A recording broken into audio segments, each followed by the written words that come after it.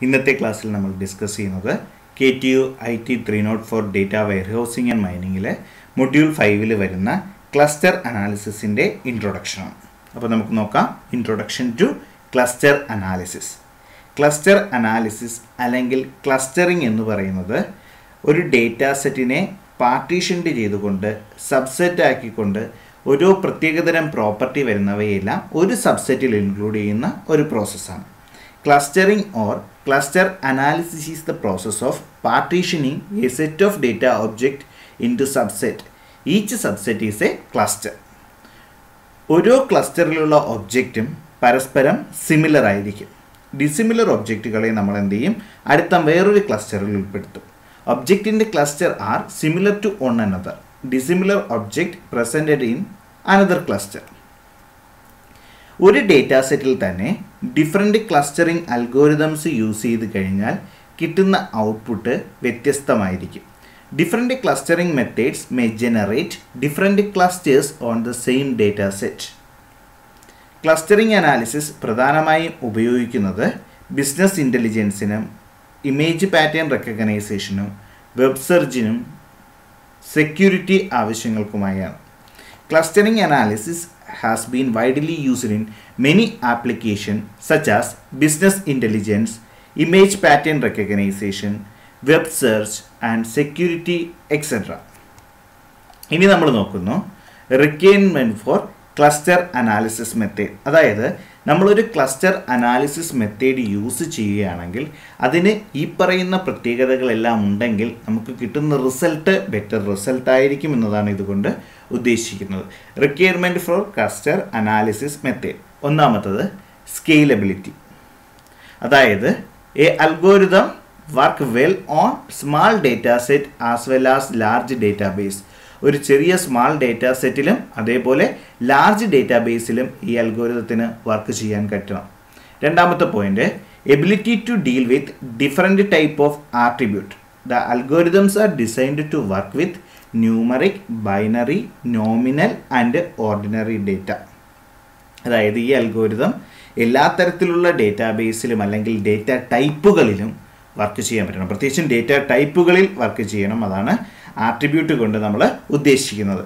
അടുത്തത് discovery of clustering with arbitrary shape എന്താണ് ഇവിടെ ഉദ്ദേശിക്കുന്നതെന്ന് വെച്ചാൽ സാധാരണ അൽഗോരിതംസ് ക്ലസ്റ്റർ ഡിവൈഡ് ചെയ്യുന്ന ഷേപ്പ് എന്ന് പറയുന്നത് ഒരു സ്പെറിക്കൽ ഷേപ്പ് അല്ലെങ്കിൽ സർക്കുലർ ഷേപ്പിലൊക്കെ ആയിരിക്കും. അപ്പോൾ അതിൽ നിന്ന് വ്യത്യസ്തമായി ഡേറ്റ സെറ്റിന്റെ ഇന്റൻസിറ്റി നോക്കിക്കൊണ്ട് നമുക്ക് എന്ത് ചെയ്യാൻ പറ്റണം? ക്ലസ്റ്റർ ചെയ്യാൻ പറ്റണം. Discovery of clustering with arbitrary shape most of the clustering algorithm measures spherical clusters develop or use algorithm that can detect clusters of arbitrary shape. നാലാമത്തെ പോയിന്റ് പറയുന്നത് ability to deal with noisy data clustering algorithm can be sensitive to noise and produce poor quality clusters though clustering algorithm contains ability to deal with noisy data അതായത് clustering algorithm ഭയങ്കര സെൻസിറ്റീവാണ് നോയ്സിനോട് അതുകൊണ്ട് തരുന്ന result വളരെ മോശമായിരിക്കും. അപ്പോൾ അതിൽ നിന്നൊരു വ്യത്യാസം വരണം. അതാണ് ability to deal with noisy data അഞ്ചാമത്തത് capability of clustering high dimensionality data most of the algorithms are good at handling low dimensional data therefore clustering algorithm contains capability to clustering high dimensionality data higher dimension ഡേറ്റയെ handle ചെയ്യാൻ പറ്റണം. ആറാമത്തെ point constrained based clustering Real world application may need to perform clustering under various kinds of clustering. For example, placing of a new ATM machine depend on the total number of persons usage. അതായത് ഡിമാൻഡിനനുസരിച്ച് നമുക്ക് പുതിയ കാര്യങ്ങളെ ചെയ്യാൻ പറ്റണം ഉദാഹരണത്തിന് ഇപ്പോൾ ഒരു market basket അനാലിസിസിന്റെ കേസിൽ പറഞ്ഞു കഴിഞ്ഞാൽ നമുക്കിപ്പോൾ മഴക്കാലം വരുമ്പോൾ അംബർലാസിന് ഭയങ്കര ഡിമാൻഡായിരിക്കും അപ്പോൾ നമ്മൾ ഒരു ഷോപ്പ് നടത്തുന്ന ആളാണ് എങ്കിൽ മഴക്കാലത്തിലേക്ക് അടുക്കുമ്പോൾ നമ്മൾ എന്ത് ചെയ്യും? കൂടുതൽ അംബർലാസ് വരുത്തും. അതേപോലെ സ്കൂൾ തുറക്കുന്ന ടൈം ആകുമ്പോൾ ബാഗ് യൂണിഫോം അംബർല ചപ്പൽസ് എല്ലാത്തിനും ഡിമാൻഡ് കൂടും. അപ്പോൾ നമ്മൾ എന്ത് ചെയ്യും? അത് കൂടുതലായിട്ട് സ്റ്റോർ ചെയ്ത് വയ്ക്കും അത് തന്നെയാണ് ഇവിടെ ഉദ്ദേശിക്കുന്നത്. ഇവിടെ പറഞ്ഞിരിക്കുന്ന എക്സാമ്പിൾ ഒരു A T M machine depend ഇത് പ്ലേസ് ചെയ്യുന്നു. അപ്പോൾ അത് എവിടെ പ്ലേസ് ചെയ്യണമെന്നത് ഏറ്റവും കൂടുതൽ ആൾക്കാർ യൂസേജ് ചെയ്യാൻ സാധ്യതയുള്ള സ്ഥലത്ത് വേണം നമ്മൾ എന്ത് ചെയ്യാൻ? ഇതിനെ പ്ലേസ് ചെയ്യേണ്ടത്. അതാണ് കൺസ്ട്രെയിൻഡ് ബ്ലേസ്ഡ് ക്ലസ്റ്ററിങ് അടുത്തത് interpretability and usability the clustering result should be interpretable comprehensible and reusable use ചെയ്യാൻ പറ്റണം അതേപോലെ തന്നെ വിശ്വസ്തതയുള്ളതായിരിക്കണം നമുക്ക് പിന്നെയും ഇത് യൂസ് ചെയ്യാൻ പറ്റണം. അതും ഇവിടെ ഉണ്ട് കേട്ടോ. പിന്നെയും ഇതിനെ ബേസ് ചെയ്തുകൊണ്ട് കൂടുതൽ കൂടുതൽ കാര്യങ്ങൾ വരുമ്പോൾ റീയൂസ് ചെയ്യാനും പറ്റണം. എട്ടാമത്തെ point incremental clustering and insensitivity to input order in many application update may arrive at any time so clustering algorithm cooperate with incremental update and also sensitive to the input data order അതായത് ഓരോ സമയത്തുണ്ടാകുന്ന അപ്ഡേറ്റുകളെ ഉൾക്കൊണ്ടുകൊണ്ട് അതിനനുസരിച്ച് പുതിയൊരു result തരുവാൻ നമ്മുടെ clustering അൽഗോരിതത്തിന് കഴിയണം. അപ്പോൾ എന്തൊക്കെ കാര്യങ്ങളാണ് നമ്മൾ ഡിസ്കസ് ചെയ്തത്?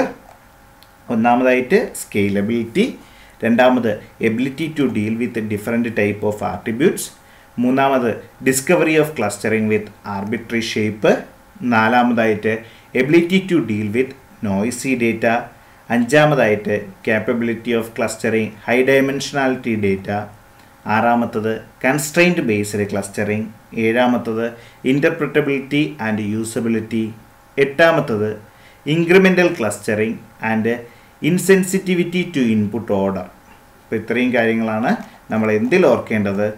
റിക്വയർമെന്റ്സ് ഫോർ ക്ലസ്റ്ററിങ് മെത്തേഡ്സിൽ ഓർക്കേണ്ടത്. ഇനി ഇങ്ങനെയുള്ള ചില clustering method basic clustering method ഒന്നാമതായിട്ട് പാർട്ടീഷനിങ് മെത്തേഡ് രണ്ടാമത്തത് ഹൈറാർക്കിയൽ മെത്തേഡ് മൂന്നാമത്തത് ഡെൻസിറ്റി ബേസ്ഡ് മെത്തേഡ് നാലാമത്തത് ഗ്രിഡ് ബേസ്ഡ് മെത്തേഡ് എന്താണെന്ന് വെച്ച് കഴിഞ്ഞാൽ നമുക്ക് തന്നിരിക്കുന്ന ഡേറ്റാ സെറ്റിനെ നമുക്ക് ഏത് തരത്തിൽ വേണോ എന്ത് ചെയ്യുക ക്ലാസിഫൈ ചെയ്യുക അതിന് നമ്മൾ ഉപയോഗിക്കുന്നതാണ് പാർട്ടീഷനിങ് മെത്തേഡ് പാർട്ടീഷനിങ് മെത്തേഡ് എന്ന് വെച്ച് കഴിഞ്ഞാൽ തന്നിരിക്കുന്ന ഡേറ്റയെ ഡിവൈഡ് ചെയ്തുകൊണ്ട് ഡിഫറെന്റ് പാർട്ടീഷനാണ് ആക്കുന്നത്. Hierarchical method one by one ആയിട്ട് ഡിപ്പെൻഡൻസിയെ ബേസ് ചെയ്തുകൊണ്ട് നമ്മൾ എന്ത് ചെയ്യുന്നു? ക്ലസ്റ്ററിങ് ചെയ്യുന്നു.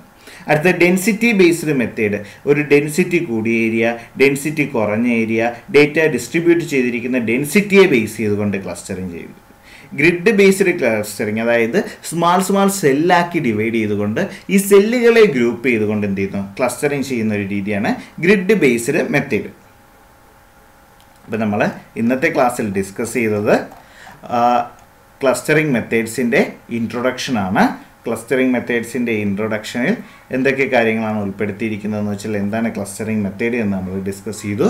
റിക്വയർമെന്റ് ഫോർ ക്ലസ്റ്റർ അനാലിസിസ് എന്തൊക്കെയാണ് വേണ്ടത് എന്നിട്ട് ഡിഫറെന്റ് ക്ലസ്റ്ററിംഗ് മെത്തേഡ്സിനെ പറ്റി അതായത് ബേസിക് ക്ലസ്റ്ററിംഗ് മെത്തേഡ്സിനെ പറ്റി ഡിസ്കസ് ചെയ്തു.